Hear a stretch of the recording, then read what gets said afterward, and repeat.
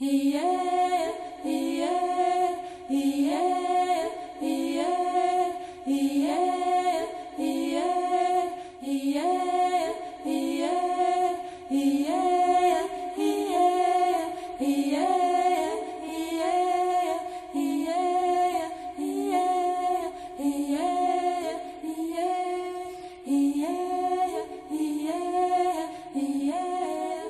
Marcha Mundial de las Mujeres es un movimiento mundial de acciones feministas que articula grupos de mujeres y organizaciones que trabajan para eliminar las causas estructurales que originan la discriminación, la subordinación y la violencia contra las mujeres.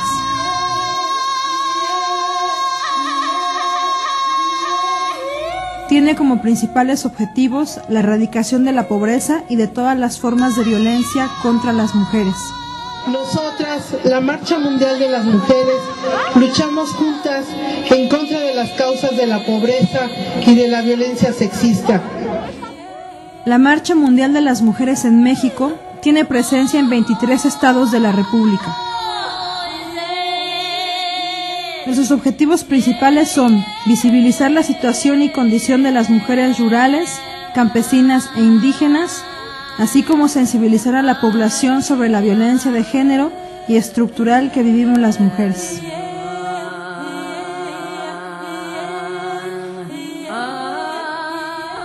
Como una de las actividades de la Marcha Mundial de las Mujeres en México para el 2008, realizamos una marcha caravana de Chihuahua a Chiapas que partió el 25 de noviembre de Ciudad Juárez, arribando el 1 de diciembre a San Cristóbal de las Casas.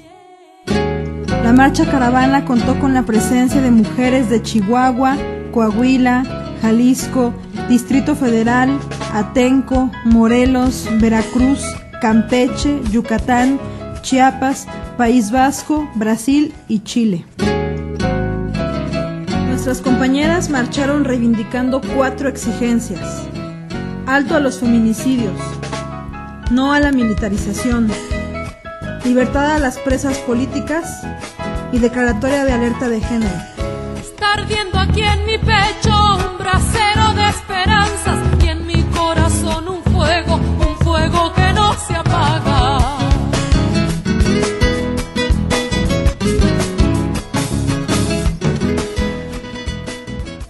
De norte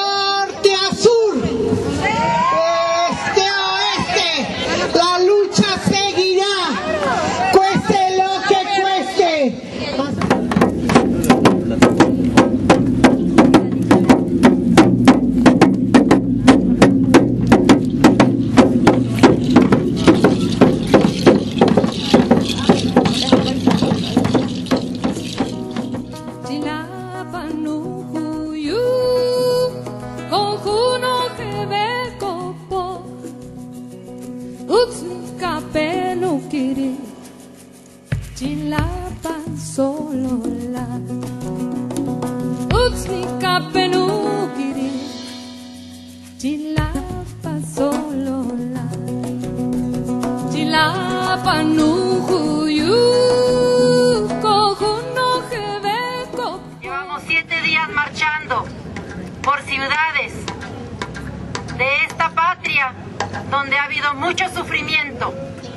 pero donde también hay lucha y también hay esperanza. Desde que Dios hizo al mundo, se pensaba que era Eva, causa de todos los males que poblaban a la tierra. Pero bien poquito a poco, la verdad va apareciendo, la boca de las mujeres, su pensar ya va diciendo, hoy las mujeres, hoy las mujeres, queremos liberar de la opresión, de la injusticia, para alegres caminar. Hoy las mujeres, hoy las mujeres, nos queremos liberar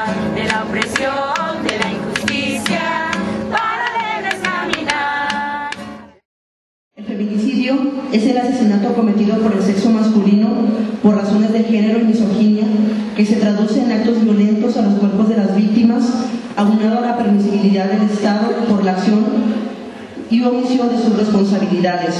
Mi nombre es Francisca Corrales Jiménez, soy madre de, de Cecilia Jazmín, y, y también es víctima. Mi hija tenía tres meses de embarazo y desde un principio su novio la estaba hostigando a que abortara. Y desde un principio ella se negó y se negó y se negó. Y el 21 de febrero del 2007 llegó por ella en la mañana que quería hablar con ella. Mi hija se fue sin bolso, sin, sin credenciales, sin, en pantuflas y jamás volvió y ahorita tienen todas las pruebas, todo, todo y todavía no se le, no se le condena. Eh, nos arrancan el corazón, o sea, de la noche a la mañana, nos arrancan la vida por completo. Yo pertenezco a la Asociación Justicia para Nuestras Hijas y eso queremos, justicia para nuestras hijas. El testimonio de su hija es que vio a su mamá boca abajo, con las piernas abiertas pero dobladas como si estuviera hincada y los pies para atrás, tenía la ropa puesta, la falda un poco subida y les dijo que la habían amarrado los soldados, que se le pusieron encima, que los soldados llevaban clavos en el pecho, que le taparon la boca y que la, violaron. A las 6.30 horas, el 26 de febrero, fue declarada clínicamente muerta por personal del Hospital Regional de Río Blanco.